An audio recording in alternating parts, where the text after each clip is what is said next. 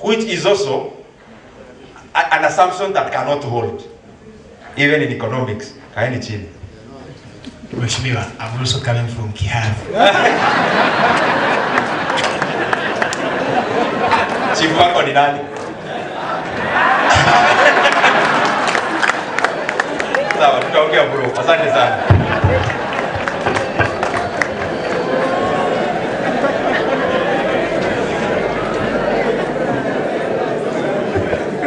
Now, as I come to the cross, as I come to the cross, I read the theme. Somebody will ask, how is youth and taking part in governance in what you talked about? Many times you have come to confuse that the only leadership we can do is leadership in politics.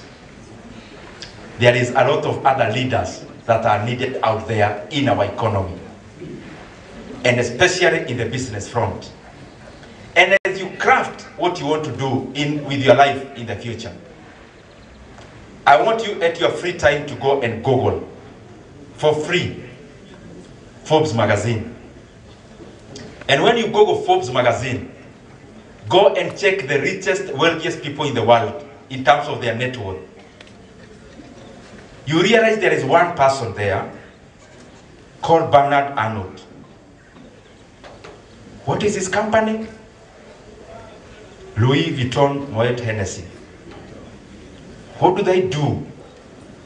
Watches, bags, expensive accessories. What is associated with those kind of purchases? They are irrational purchases. You don't buy a watch out of the value in use. You buy the watch out of the value in exchange and for ostentation. That when I wear, people recognize who I am. Unfortunately, not many people actually know their prices. So you wear a 10 million watch, but then it's only you who knows their, their, their, their worth. Number two in that list, I may not follow through all of them. Let me just mention, uh, not in any particular order. You'll get Elon Musk or Elon, Elon Musk. What is their company? Their company is Tesla, SpaceX, Neuralink.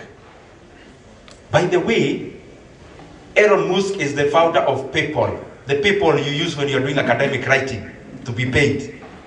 It was started by Elon Musk. Then he sold it. What do they do? Electric cars, SpaceX, going to space, and internet issues. What is what can you call that category of sector? Maybe automotive or automobiles and IT. Three, Jeff Bezos. What is the company of Jeff Bezos? What is it? Amazon. What is the sector of Amazon? What is Amazon? What, what sector is Amazon? IT. There is a lot of other things, logistics in it, but it's basically an IT company. The other one is Larry Page, one of the founders of Google, 107 billion US dollars. The other one is Warren Buffett. What is his company? Berkshire Hathaway. Where does Berkshire Hathaway invest? They are the number one investors in Apple. Their biggest investment, more than half of the investment of Berkshire Hathaway, is in Apple. What is Apple? A phone. Which sector? IT. Bill Gates follows. Microsoft. Which sector is that?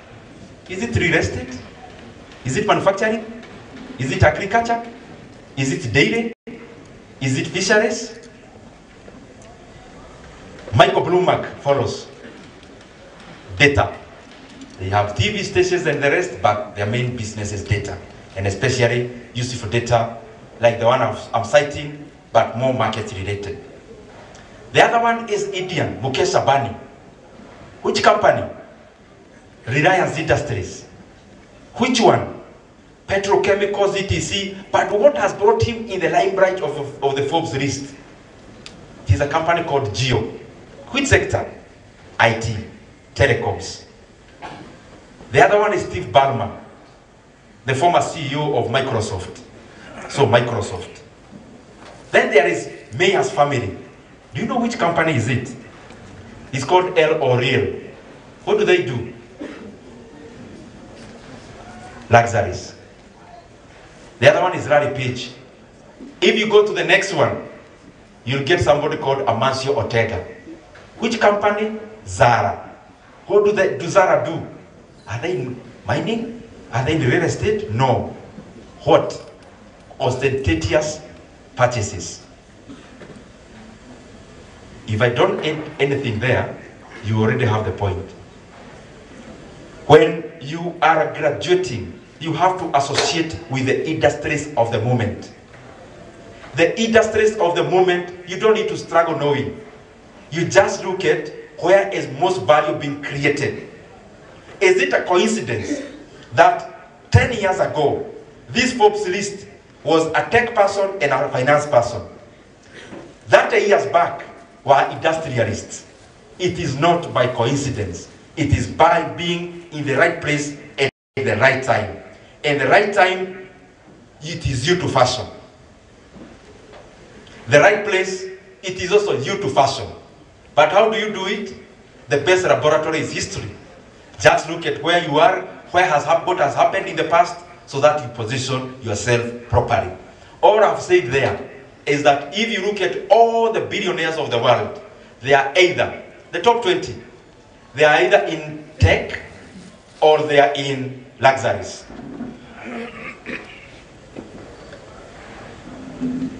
Tom Mboya.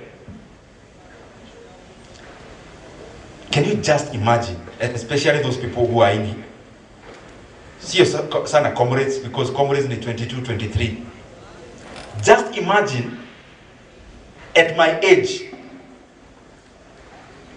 Tom was already gone one year.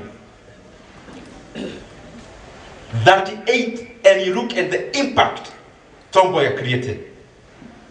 And then most of the times, I see people saying how youth in Kenya are taking their positions. There is no lazier generation of youth than the current generation. None. Why? You call me here as a young person, but the young person of history are Tom Mboyas and the others. What had they achieved at our age? At your age as a comrade, at 23, Tom Mboya was already a national leader. He was already leading Kenya African Union. At 33, he was already a minister who was poised even for higher positions. But then, is it just Tom Mboya alone? If you look historically, you read about French Revolution. The person who led the French Revolution, Napoleon Bonaparte, became a general before 30. He became an emperor at 35. Napoleon Bonaparte. If you look at people like Nelson Mandela, he could have become president much later, but his involvement in the national politics in his 30s. Mwai Kibaki became the leader of KANU as the CEO at around 30 years old. Look at the people we can relate with very well. Anyang' Nyong'o from here, Kisumu. People like our current president. At the age of the comrades who are sitting here, they were already doing, uh, they were already doers of things. But then even the current situation, go to France currently.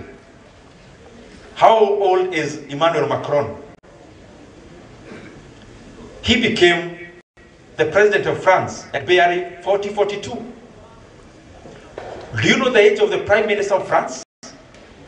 Even before you talk about the prime minister of France, you need to Google what is the GDP of France before you answer that question. The prime minister is 34 year old. And he was not first from a village in or arrested in France. No. He was already an MP at 28. That's the Prime Minister of France. And we are here saying, we are comrades of Tom Mboya University, we have time, we organize ourselves, tunajipanga, we have time. You have no time, my comrades. If it is starting, you start now, not tomorrow. But others also have ascended. Not, we can't talk about the method, but they have arrived. I'm not talking about the method. The current president of Burkina Faso, I'm not talking about the process, how he got there.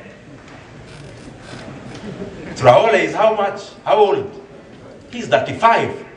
But how old was Sankara, Thomas Sankara? Thomas Sankara became president at, 30, at 35 years already president of Burkina Faso. 34, 35, he was already president of Burkina Faso. What am I trying to say? Even Abiy Ahmed, just here in Ethiopia, became prime minister at 42. Others, I'm not also in this position, I'm not talking about how he got it. If you go to Saudi Arabia, Mohammed bin Salman, the current um, crown prince, you can literally see the ruler there. Because the king, uh, he, he does most of the functions. We are actually age mates, including the month of Baal. But what is the GDP of uh, Saudi Arabia? You can check later. What am I trying to say? Sometimes we look at our ages and we think a time is coming for us to be useful in our societies, in our localities, in our countries, in our continent. That time is not coming, that time came.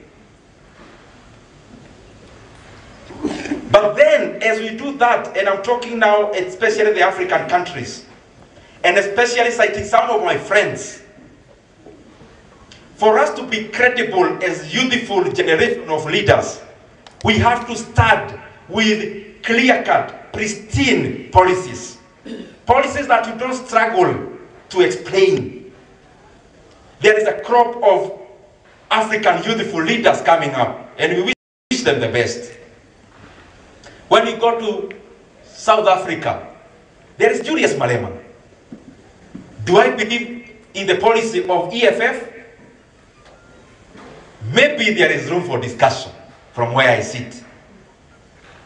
Because we have to keep on gradually differentiating between campaigning to win and governing.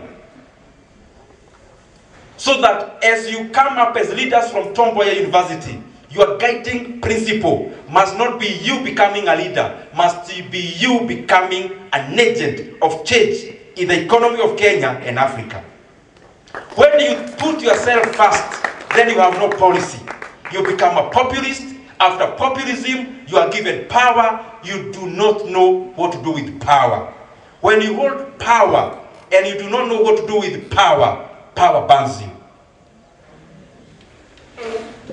And I am hopeful that the current crop of people who are coming up are coming up with good policies. I have cited South Africa.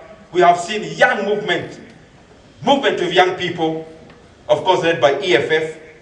You go to a place like Uganda, our neighbors. You see a young man, Bobby Wine,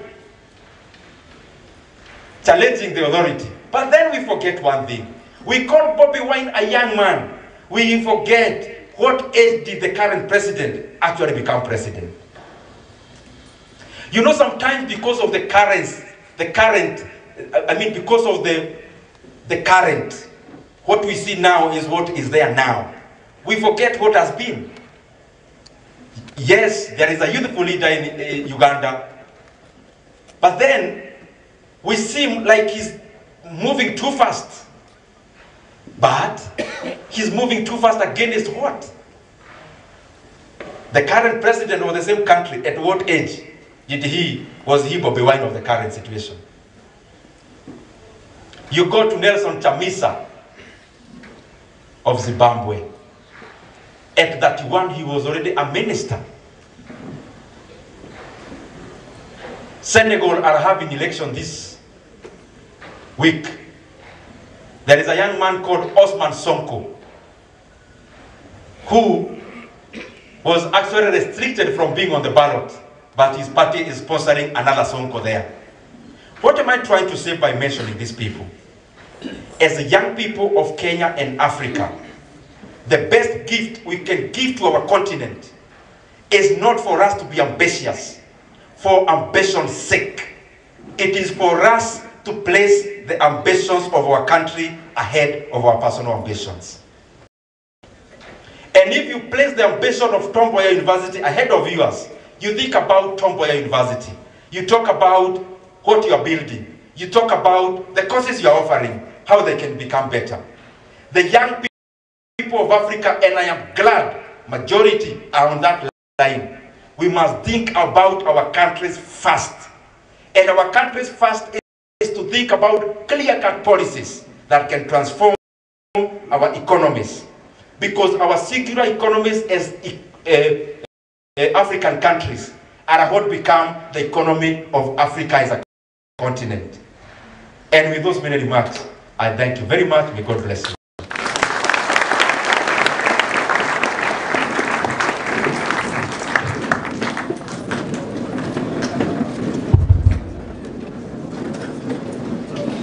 Yeah, can have a seat.